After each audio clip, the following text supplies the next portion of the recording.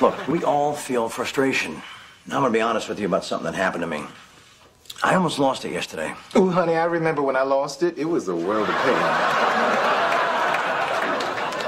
Okay, I'm pretty sure we're talking about two different things. What I mean is, I almost gave in to a black rage. Oh no, we're talking about the same thing.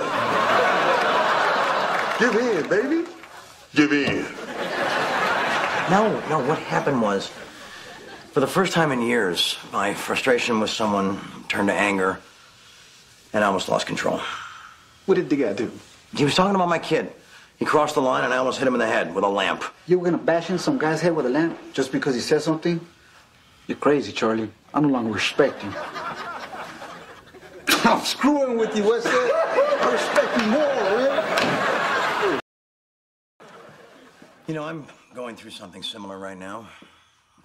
I lost something, and I'm having some emotions about it. What'd you lose, boss? Actually, it was a patient from my private group.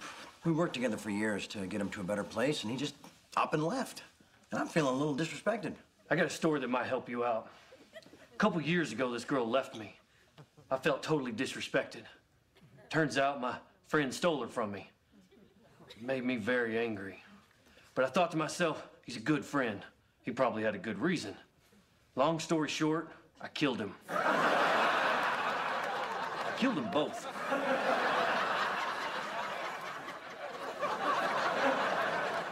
Thank you, Wayne. That is a terrifying story.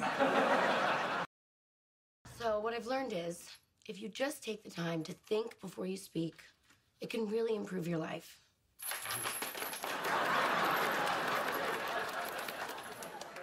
I'm not a cannibal. That's not why I'm in here. But I bet you'd taste like raspberries. Um, thank you.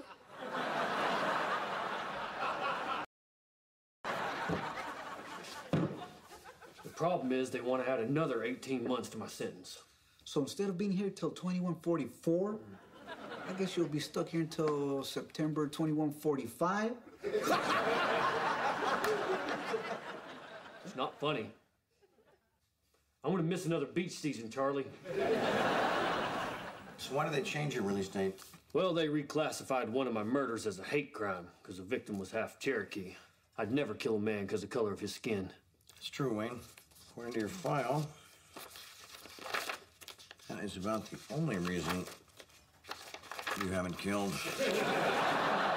We're all the same on the inside. At least from what I've seen.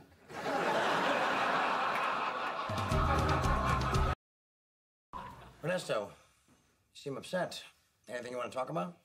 Tell Wayne to quit looking at me. He said he's gonna eat my eyes out. He's not going to eat your eyes out. Wayne, tell Ernesto you're not going to eat his eyes out. I'm gonna eat his eyes out. Oh, Wayne, we know that's an empty threat. Last time you attacked a guy, you only plucked out one eye, and you couldn't even finish that. What's with the private session, Charlie? Well, Wayne, you are making so much progress that I thought we'd try a, a new exercise. I'm going to present some hypothetical anger triggers, and you're going to tell me how you might respond. It's tough to say, but I guess I'd take a ballpoint pen and try to punch a hole in your windpipe. We, we haven't started yet. Oh,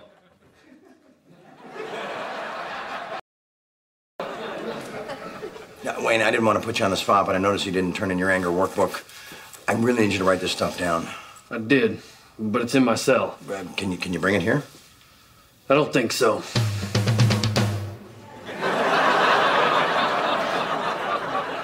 Take it back. You did do your assignment.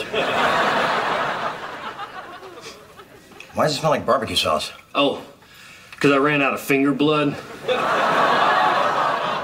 Well, I think this is a very constructive way for you to express your feelings. Uh, Just so you know, there's no hyphen in killing spree. Thank you. That would have been embarrassing. Well, I'll just get that off with some urine. Later.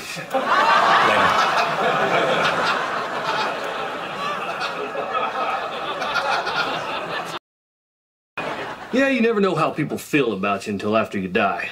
It's something I learned reading Tom Sawyer and killing people. That's very clever, Wayne, but I'm still alive. Yes, you are.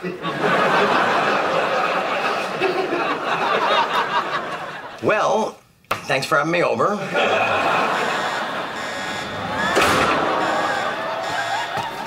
the hell's going on? Lockdown. Just relax. You'll be safer in the cell. Must be some kind of riot. Once again, nobody tells Wayne. So you really think we're safer in here? Well, I am.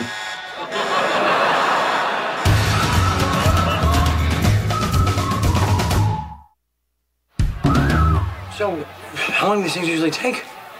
Oh, you're uncomfortable. I'm sorry, I'm not used to having guests. Please, have a seat, won't you?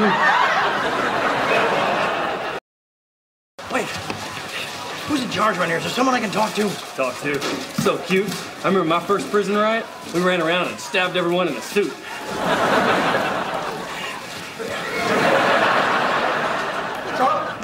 What's going on? You said the prisoners couldn't get out of their cages. Relax, man. There's no reason for them to hurt us. We're not prisoners and we're not guards. All right, everybody. I've talked to the fellas down in cell block D who are in charge of this whole thing. They've given their demands. They know we have hostages. And now it's just a waiting game. They got hostages? I hate to be one of those poor sons of bitches. Oh, you are those poor sons of bitches. Yeah, I pretty much figured that out just as I was saying it.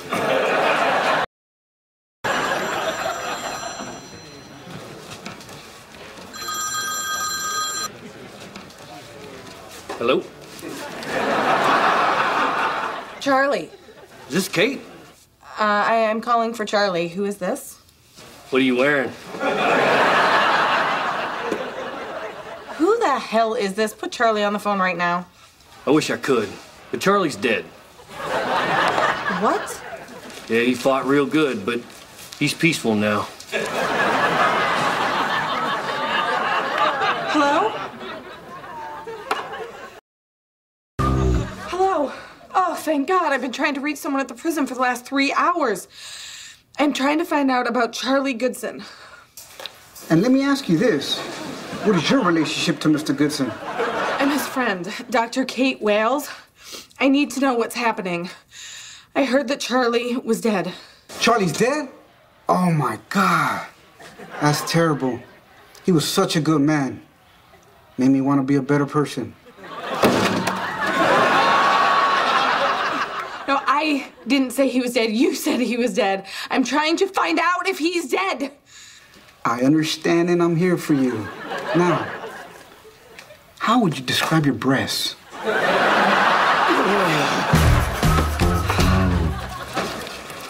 right, everybody, I got some news.